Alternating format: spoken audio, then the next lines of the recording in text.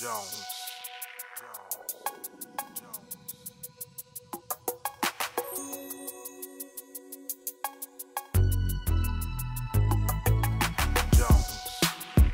Percy Julian. Percy Levon Julian was born on April 11, 1899 in Birmingham, Alabama. His mother was a school teacher and his father was a railroad mailman. Education was of the highest importance in their household. Julian attended elementary school in Birmingham, Alabama, and then attended high school in Montgomery, Alabama. He graduated high school from the State Normal School for Negroes in 1916. After graduation, he moved to Greencastle, Indiana, where he attended DePauw University. The university placed Julian on a probationary period. He took additional classes at Indiana Asbury Preparatory Academy run by DePauw. The university did not feel that Julian was prepared to attend college. Along with his additional course load, Julian worked at a fraternity house to help pay his tuition. Despite having to balance a full schedule of work, Julian became an honor student. He graduated Phi Beta Kappa and became a member of the Sigma Chi Honorary Society. He also graduated at the top of his class. Julian was the class valedictorian, but he was denied entry into graduate school because of his race. Even though Julian was brilliant and successful, he was still affected by racism. He would become a chemistry teacher at Fisk University in Nashville, Tennessee for two years. His next move was to Cambridge, Massachusetts to attend Harvard University through an Austin Fellowship in Chemistry. Julian took advantage of the opportunity to shine on the graduate level. He showed his brilliance by graduating at the top of his class and receiving his master's degree from Harvard in 1923. Racism reared its ugly head once again in Julian's life. He was denied teaching positions at the predominantly white colleges. They claimed the students wouldn't be able to learn from him. Julian accepted a teaching position at West Virginia State College for Negroes, where he would teach chemistry until he accepted a position at Howard University as the head of the chemistry department. In 1929, Julian accepted a fellowship to travel to Vienna, Austria to earn his PhD in organic chemistry. He graduated with a PhD in 1931 then returned to the United States to become head of the chemistry department at Howard University. He later returned to DePauw University as a chemistry teacher. He would begin working on the synthesis of physostigmine with Dr. Josef Pikl from Vienna. Physostigmine is a drug that Julian used to treat glaucoma that is made from the calabar bean.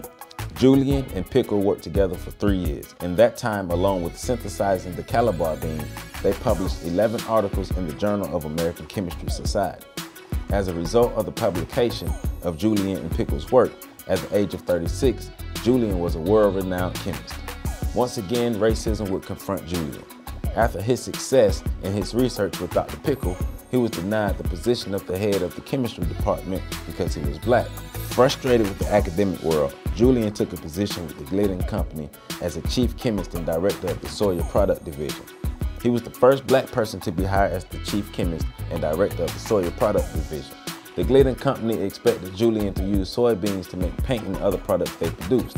He developed a flame-retardant aerofoam that was widely used by the U.S. Navy in World War II. In 1935, Julian moved to Chicago, Illinois after he married Anna Johnson. He would use his genes to help develop male and female hormones using soybeans. The hormones were used to help pregnant women from having miscarriages, and it was also used to fight cancer. He next used the soybean to create an inexpensive version of cortisone. He was able to help many people around the world find pain relief. In 1950, the city of Chicago named Julian as Chicagoan of the Year. Later that year, the new home he brought was set on fire by a racist pyromaniac. Within a year, Julian's family survived another terrorist attack. Dynamite was thrown outside his young daughter's window.